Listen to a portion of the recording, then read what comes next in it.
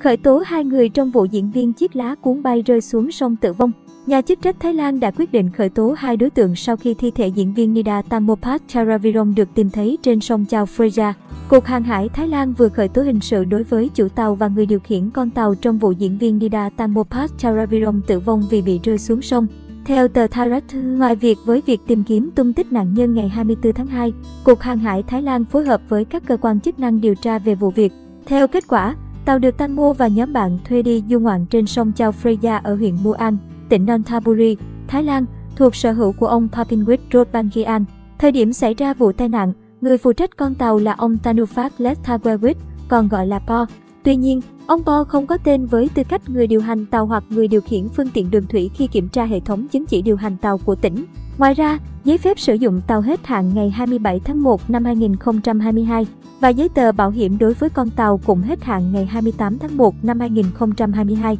Ông Furipat Therakun Visup, Phó Cục trưởng Cục Hàng hải Thái Lan, cho biết ông Rob Bangian sẽ bị phạt tiền tối đa 10.000 bạc, hơn 7 triệu đồng. Còn ông Po sẽ bị phạt tù tối đa 6 tháng và phạt tiền 10.000 bạc. Việc các hành khách trong đó có Tanmo không mặc áo phao khi ở trên tàu sẽ được quy vào lỗi người điều hành tàu không có chứng chỉ hành nghề. Ngày 26 tháng 2, thi thể diễn viên phim Chiếc lá cuốn bay nổi trên sông cách hiện trường vụ tai nạn không xa sau 38 giờ tìm kiếm. Trước khi khám nghiệm thi thể để xác định nguyên nhân tử vong, cảnh sát đã khoanh vùng khu vực xung quanh bến tàu để gia đình, bạn trai và bạn bè nói lời tiễn biệt với Tanmo.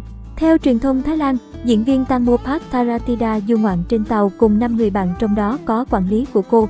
Nữ diễn viên bị trượt chân rơi xuống sông vào khoảng 10 giờ 40 phút tối ngày 24 tháng 2 giờ địa phương. Ông Bo sau đó kể rằng không hay biết Tamo rơi xuống sông vì tiếng nhạc và tiếng sóng quá lớn và thừa nhận cả nạn nhân và những người khác trên tàu đều không mặc áo phao.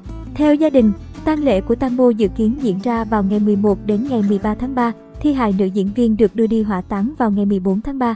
Tamo Pattaratida sinh năm 1984, gia nhập làng giải trí từ khi còn là một thiếu nữ. Cô hoạt động sôi nổi với vai trò ca sĩ, diễn viên, người mẫu.